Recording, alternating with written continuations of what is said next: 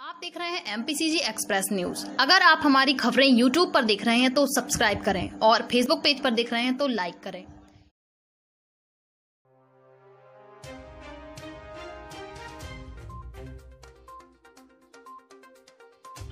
हत्याकांड का चौथा आरोपी चढ़ा पुलिस के हत्थे। पुलिस थाना जबेरा की सिंग्रामपुर चौकी में हुए एक जून मंगलवार को टगरा मोहल्ला में हुए आदिवासी युवक हत्याकांड के मामले में चौथे आरोपी को पुलिस ने सिंग्रामपुर गुबरा के जंगल से गिरफ़्तार करने में सफलता प्राप्त की है।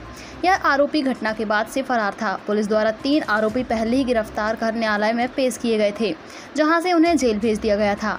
चौथा आरोपी घटना की आठ दिन बाद गिरफ़्तार किया गया। सिंग्रामपुर चौकी प्रभारी संजय सेंध्रुवे ने बताया, पुलिस अधीक्षक के निर्देश पर पुलिस टीमें बनाई गई थी और एसडीओपी अशोक चौरसिया के मार्गदर्शन में यह टीमें लगातार चौथी आरोपी को गिरफ़्तार करने के लिए जगह जगह तलाशी अभियान चला रही थी। आज उजियार से और पंचू हत्याकांड के चौथे आरोपी ऋषि तिवारी को गुबरा के पास जंगल से गिरफ़्तार कर लिया गया है।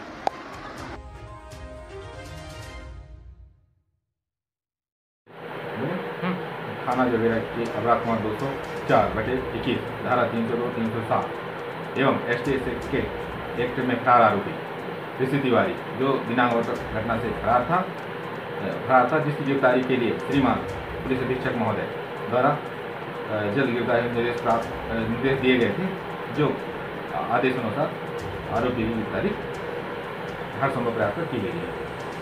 सर, गिरफ्तारी कहाँ पर हुई है? गिरफ्तारी आरोपी ग्राम गुबरा के पास खेतों में मिला था।